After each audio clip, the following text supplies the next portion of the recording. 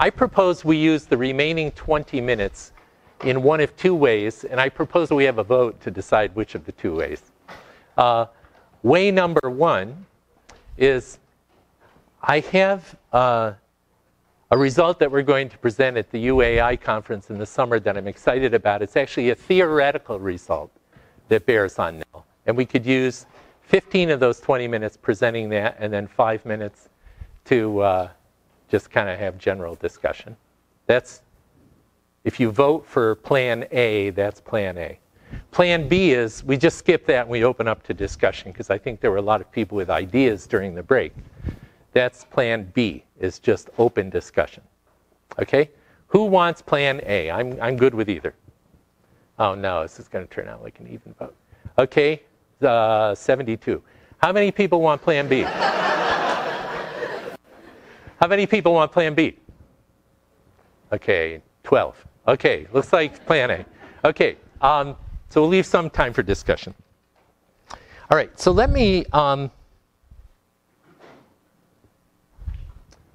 here is really one of the very fundamental questions that you have no choice but to think about if you want to build a never ending learning system, or even a learning system that only learns for 100 years, like you. Um, what's the difference be- between correctness and consistency? So, you know, if you have some agent that's, let's say, an autonomous agent that can sense the world in this in some way Nell senses the web. A robot would sense the world. You and I sense the world with our sensors. And if that agent can learn both how to perceive and how to predict, then there's a sense in which that agent can't really ever know whether it's predicting correctly and perceiving correctly or just making nonsense predictions and perceiving incorrectly right? Like, I think my visual system is correct. And so I predict that if I move my hand to the right, I'm going to bump into the table, and I feel like I do. Uh, so I, I think I, I'm right. But actually, all I can really guarantee is that I'm consistent. It could be that my sense of touch is uh, misperceiving a bump uh, because some part of my brain was expecting it anyway. I'm not really bumping into anything, right? So you see what I mean? There's a sense in which any agent that's learning to perceive and learning to predict can't really be sure whether it's hallucinating in its perception and just mispredicting and being, and being consistent versus being consistent and also being correct that there really was a table there. For now, we have this problem too. And if you think about good idea number one in Nell, the one that said we should train functions to be consistent, then you have to worry about this, right? Nell could train a whole bunch of functions to be consistent. In fact, somebody asked that question as soon as I brought up the idea. Couldn't they just all be consistent by saying yes all the time? They could.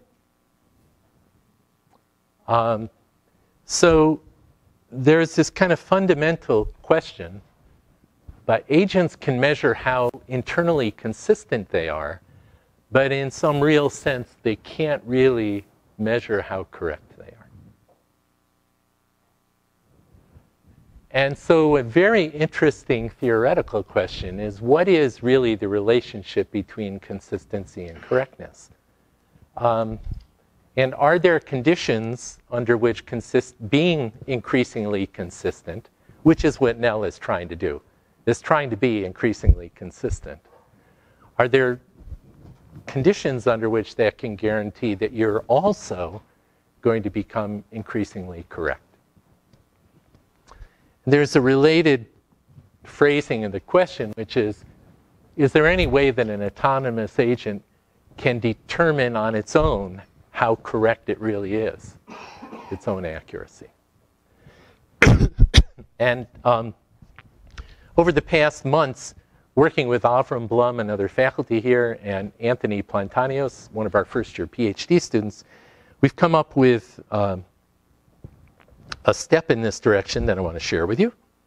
Um, and it's really a method that we're now building into Nell for Nell to estimate its own correctness, its own accuracy, not just its consistency. And the, the key idea in one sentence is um, under some assumptions, uh, you can show that consistency implies correctness. And when we try out that approach on Nell, it actually works remarkably well. So let me tell you how we frame the problem. Here's the way we frame the problem. So formally, suppose you have n different estimates of the same function. So this would be like the function that's trying to tell whether a noun phrase refers to a person or not. We'll call those f1 through fn. In general, these are just different approximations to the same target function f. And this is some Boolean function that maps from x to 1 and 0. Okay, so for example, the target could be to take a noun phrase x and say yes or no, does it refer to a person? And these different functions could be the different red and blue and green functions in Nell, for example. So these are just different functions trying to estimate the same thing. Okay, now I'm also going to define the agreement rate between two functions as just the probability that if we take a randomly, a randomly drawn x, a randomly drawn noun phrase, that function i and j will give us the same answer. They'll both say yes or they'll both say no. That's the agreement rate. So the key insight is that these agreement rates and these errors are related in the following way. The probability that a function i and function j will agree given a randomly drawn noun phrase is just the probability that neither of them is wrong plus the probability that they're both wrong. That's the two ways they can agree. And if you work out the arithmetic, it turns out there's this nice relation that the rate at which they'll agree, that is, this quantity up here, the probability that they agree on an unlabeled example, which we can measure. We just give these functions a thousand unlabeled examples and see that they agree 827 times out of a thousand. So we can measure this from unlabeled data. That probability that they'll agree is just 1 minus the probability that function 1 makes an error, minus the probability function 2 makes an error, plus the probability that they jointly make an error.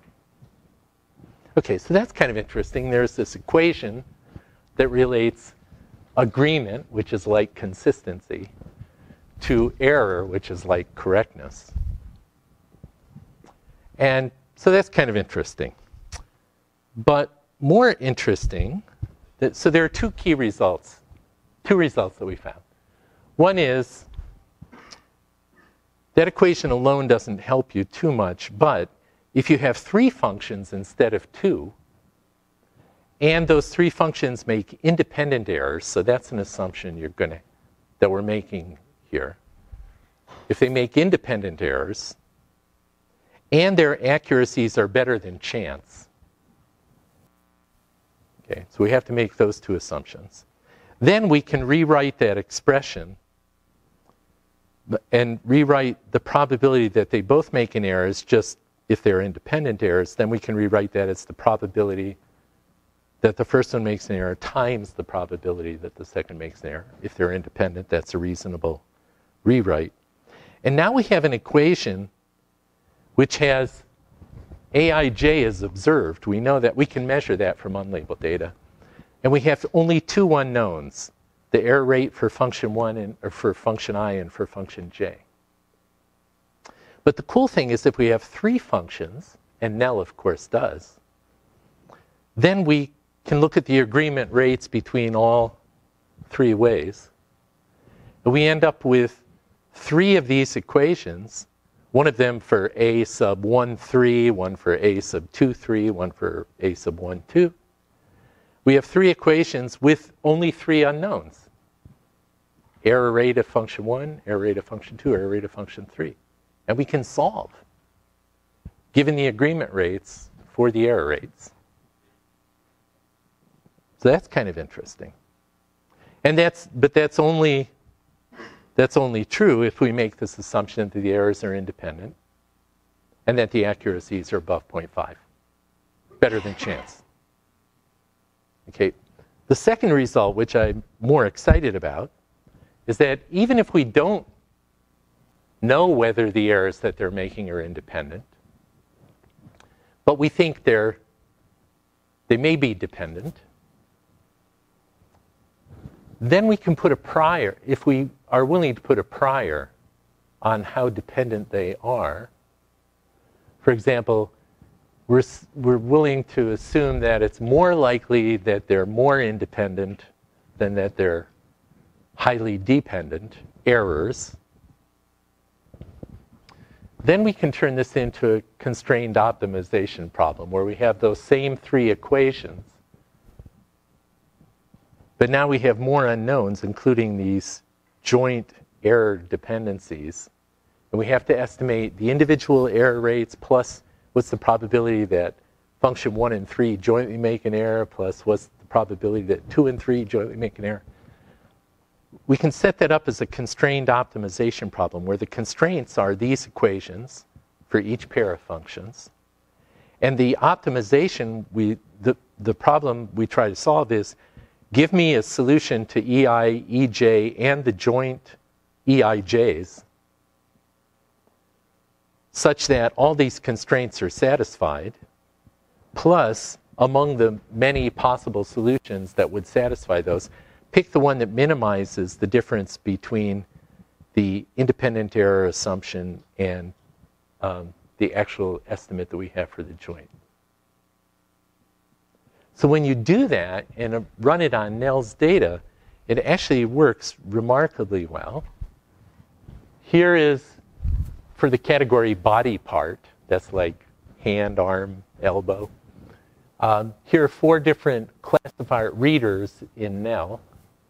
And the red is the true error of those classifiers judged by us humans.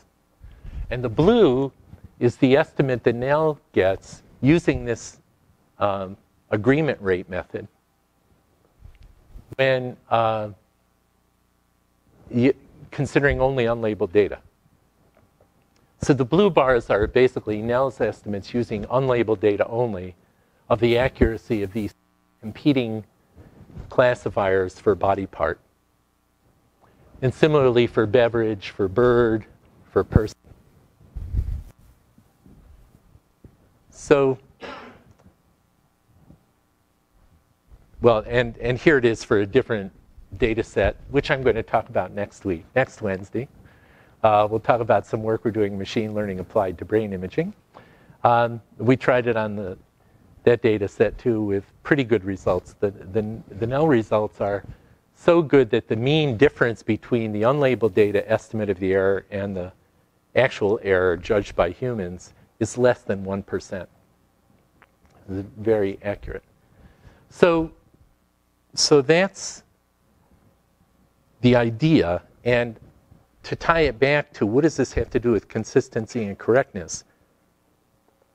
Here's a method that is using the observed consistency between functions to estimate the actual correctness of those functions.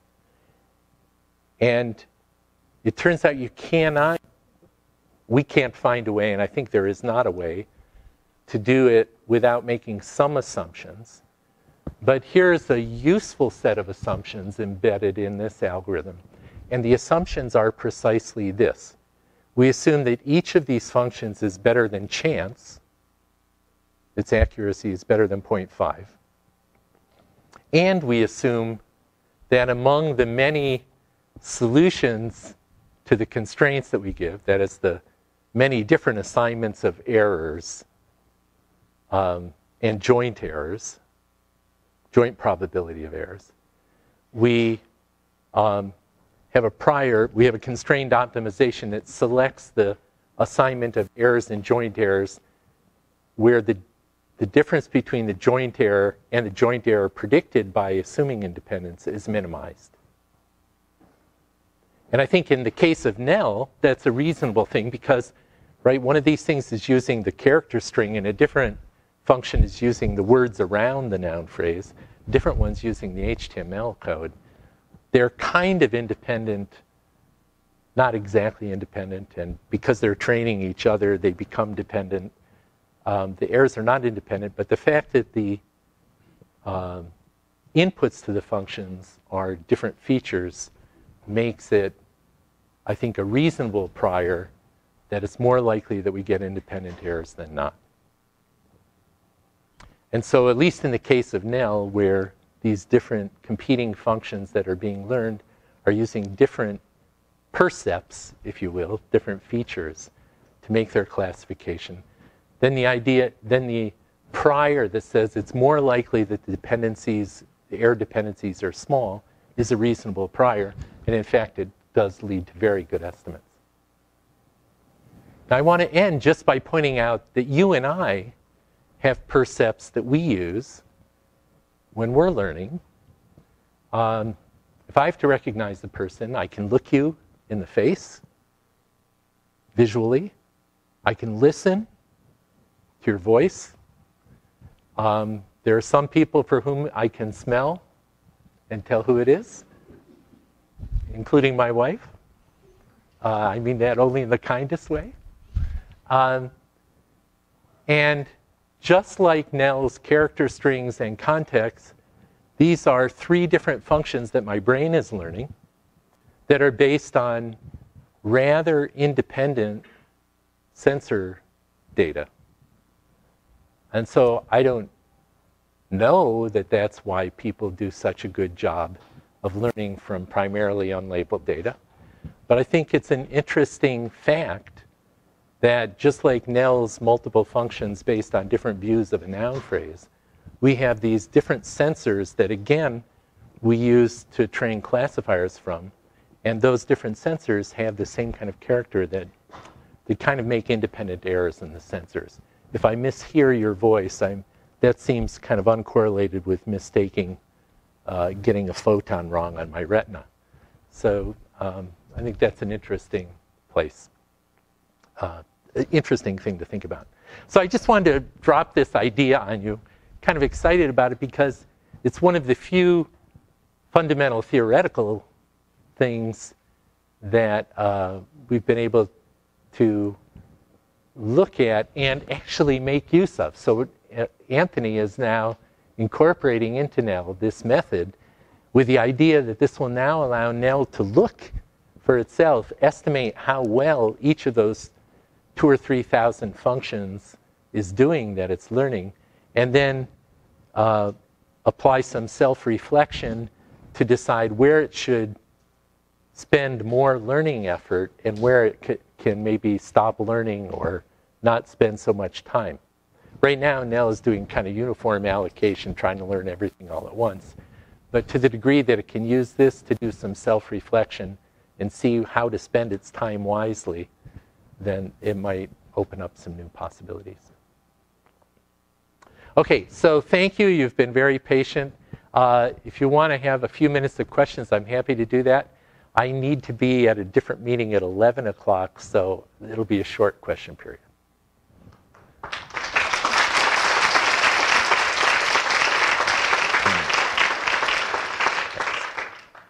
Questions? Yes. Sorry?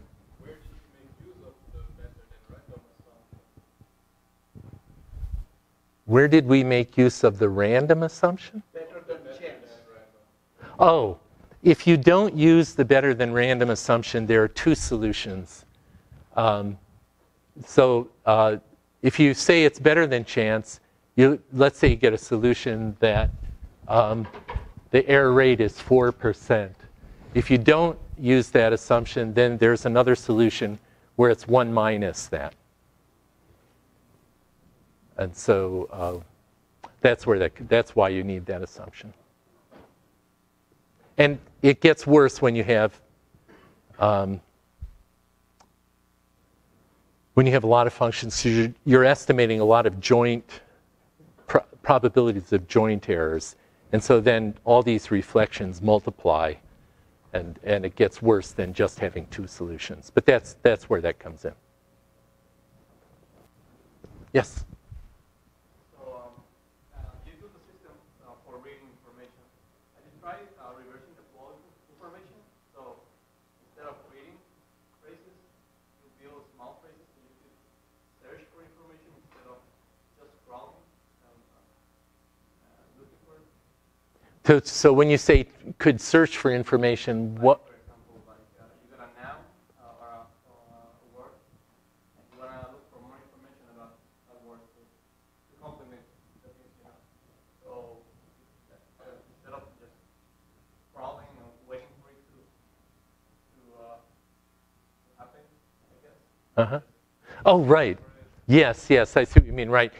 go out and look for text. You're trying to learn about Carnegie Mellon University. Go out and find text that mentions it.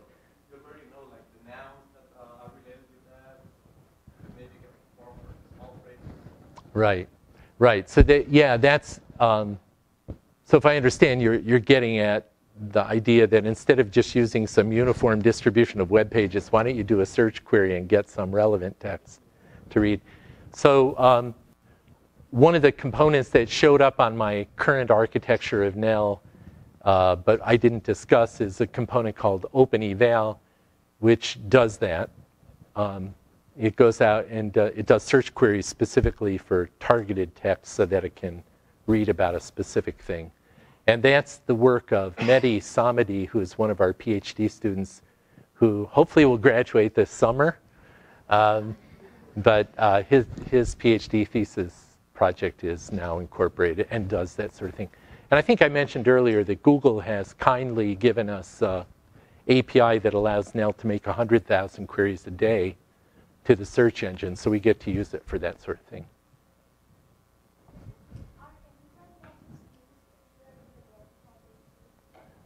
Yeah, our n-gram model is used. Uh, we use a lot of different um, distributional semantic vectors. Um,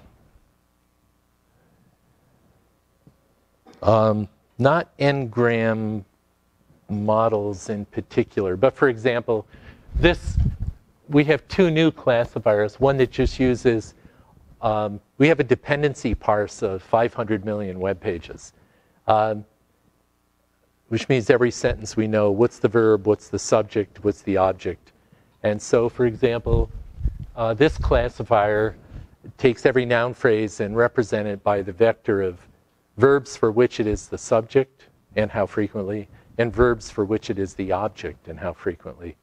So it's not the same as the n-gram model, but those types of corpus statistics are widely used in different ways. Yes? So uh, if you try to minimize the difference between the EIJ and the EI times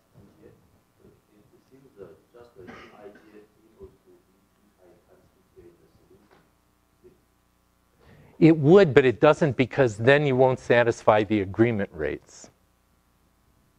So you have to satisfy all of the, you have a system of equations which look like this.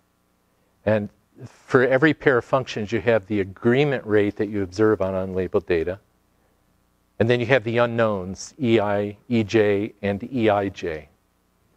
And we have a system of those equations, and now we must solve for these three unknowns, EI, EJ, EIJ, and actually more than three. We'll have, if we have more than three, for every function, we'll have an, an E, and then we'll have all the combinations of EIJs.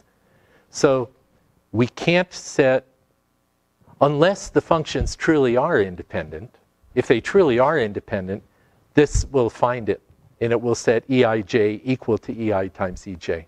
But if they're not independent, that information will be reflected in the observed agreement rates.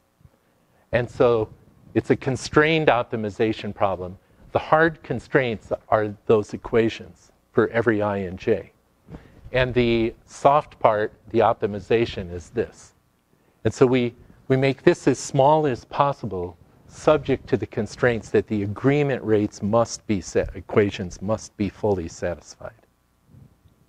So, uh, in terms of Bayesian method, that turns out to putting some kind of prior, like a Gaussian prior, on uh, the difference between the actual joint errors and their independent. It's, it's like putting a Gaussian prior on how independent they are.